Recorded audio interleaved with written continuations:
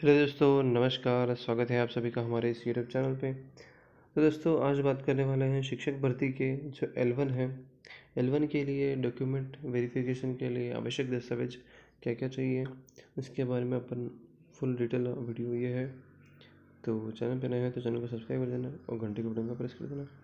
ठीक है तो सबसे पहले डॉक्यूमेंट आता है। अब लेवल प्रथम से संबंधित चेकलिस्ट जो कि आपने अपना चेक लिस्ट आपने जो देखी है रोल नंबर जैसे कि आपने व्हाट्सएप पे जो पीडीएफ प्राप्त की होगी, जहाँ पे आपका रोल नंबर शो कर रहा होगा तो उसको चेक लिस्ट बोलते हैं, वहाँ से आपको उठानी है, उसकी प्रिंट निकालनी है कि ये भाई हाँ हमारा, इस यहाँ पे रोल नंबर शो कर रहा है तो वो चेक लिस्ट होगी, ठीक है?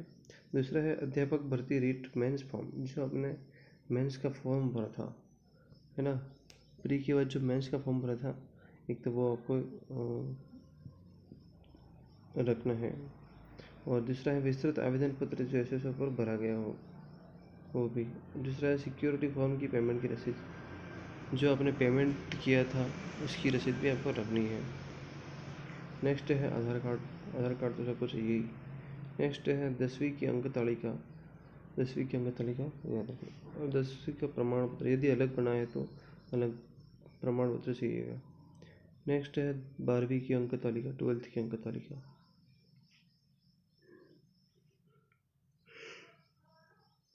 नेक्स्ट है ट्वेल्थ का प्रमाण पत्र यदि अलग बना हुआ है तो। आगे देखते हैं। और यदि किसी ने ग्रेजुएशन किया है है ना? और ग्रेजुएशन किया है और तीनों वर्षों की अंक तालिका चाहिएगी वो प्रमाण पत्र यदि पहले फॉर्म में डिटेल भरी गई है तो है ना? यदि आपने फॉर्म में बताया है कि मैंने बीएससी किया है, या बीए किया है, या बीकॉम किया हुआ है, अगर आपने फॉर्म में शो किया हुआ है तो आपको तीनों साल की मार्कशीट की आवश्यकता पड़ेगी। अगर शो नहीं किया है फॉर्म में मैन रीड की मेंस फॉर्म में तो वहाँ पे आपको देने की ज़रूरत नहीं है है ना? नेक्स्ट डॉक्यूमेंट आता है बी फ़र्स्ट ईयर की अंक तालिका यदि आपने एस टी सी की है तो फ़र्स्ट ईयर की मार्कशीट या डी एल एड किया है तो डी एल एड की फ़र्स्ट ईयर की जो मार्कशीट है। और नेक्स्ट है सेकेंड ईयर की marksheet first year second year दोनों की मार्कशीट आपको चाहिएगी। और नेक्स्ट है डिप्लोमा का प्रमाण पत्र, जो आपने दो साल का डिप्लोमा किया है उसका प्रमाण पत्र भी चाहिएगा। और नेक्स्ट है प्रवेश तिथि का प्रमाण पत्र, यानी कि एडमिशन स्लिप बोले तो जो आपने जिस तिथि को एडमिशन लिया था, उसकी स्लिप चाहिएगी। या फ़ीस रसीद जो भी होगा एडमिशन स्लिप वो आपको शो करनी होगी। नेक्स्ट है दो हज़ार इक्कीस बाईस का प्रमाण, पात्रता प्रमाण पत्र। कि अभी जो आपने रीट प्री पास की थी, उसका पात्रता प्रमाण पत्र भी आपको लगाना है है ना? नेक्स्ट है मूल निवास का प्रमाण पत्र। क्या आप राजस्थान के मूल निवासी हैं, उसका प्रमाण पत्र भी आपको लगाना है। जाति प्रमाण पत्र, यानी वैध अवधि का, यानी कि एक्सपायर डेट का अवधि नहीं होना चाहिए। शपथ पत्र शपथ पत्र क्यों चाहिएगा यदि जाति प्रमाण पत्र आवेदन की अंतिम तिथि के बाद बना हो। यानी कि जैसे कि आपने आवेदन कर दिया है आज, और प्रमाण पत्र नेक्स्ट डे का बनता है। या जैसे कि इस महीने में आवेदन किया है, अगले महीने में आप जाति प्रमाण पत्र बनाते हैं, या कोई लोग अभी बना रहे हैं जाति प्रमाण पत्र तो जैसे कि किसी के पास है ही नहीं जाति प्रमाण पत्र अभी एक्सपायर है, वो गया है। टोकन नंबर वाला नहीं है।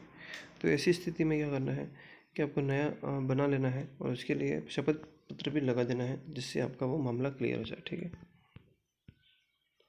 नेक्स्ट है एनओसी प्रमाण पत्र यदि पहले सरकारी सेवा में हो तो यदि आप कोई गवर्नमेंट एम्प्लॉय है और रेट की परीक्षा पास की है तो आपको एनओसी प्रमाण पत्र देना होगा। आय प्रमाण पत्र यदि आय ढाई लाख से कम भरी हो तो कम भरी है तो आपको आय प्रमाण पत्र दे, बताना होगा। स्व घोषणा पत्र, जिसमें मूल्यवान संतान, दहेज शैक्षणिक योग्यता विधवा तलाकता भूतपूर्व, सैनिक अपराधी, रिकॉर्ड आदि से इत्यादि से संबंधित घोषणा करनी है। है ना? अंतिम शिक्षण संस्थान का चरित्र प्रमाण पत्र यानी कि अंतिम जो आपने शिक्षा ग्रहण कहाँ सीखी है उसका चरित्र प्रमाण पत्र चाहिएगा दो गजेटेड अधिकारियों से हस्ताक्षर चरित्र प्रमाण पत्र भी लगाना है। नेक्स्ट है, टेस्ट, अटेस्टेशन फॉर्म लगाना है। खिलाड़ी दिव्यांग, संबंधित या अन्य कोई वैद्य प्रमाण पत्र हो तो उसे भी साथ में लेकर जाना है।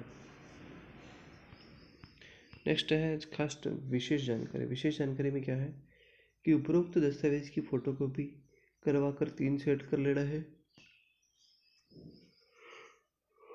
कितने सेट करने हैं? तीन सेट करने हैं दोस्तों। और जमा केवल जमा केवल दो सेट करने हैं। दो सेट होंगे और एक सेट आपके पास सुरक्षित रहेगा।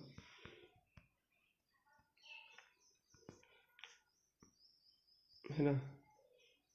और डॉक्यूमेंट वेरिफिकेशन के समय ओरिजिनल एवं फोटोकॉपी ओरिजिनल एवं फोटोकॉपी के दो सेट लेकर आने हैं। और यानी कि जैसे कि डॉक्यूमेंट वेरिफिकेशन का आपको बुलाता है, बुलाया जाता है तो आपको ओरिजिनल भी ले जाना है और फोटोकॉपी के जो दो सेट ले, दो सेट हैं, वो भी लेकर जाने हैं। और फोटोकॉपी वाले प्रत्येक दस्तावेज़ पर स्वयं के हस्ताक्षर भी करने अनिवार्य हैं, है ना? और जैसे कि चरित्र प्रमाण पत्र पर अटेस्टेशन फॉर्म और ओरिजिनल ही लगाने हैं, ये फोटोकॉपी नहीं लगाना है, जो चरित्र प्रमाण पत्र ठीक है ना? तो दोस्तों ये वीडियो आपको कैसे लगा? यदि आपके लिए हेल्पफुल रहा है तो चैनल को सब्सक्राइब कर दीजिए और घंटे के बटन को प्रेस कर दीजिए, ठीक है? मिलते हैं नेक्स्ट वीडियो में। तब तक के लिए बाय बाय थैंक यू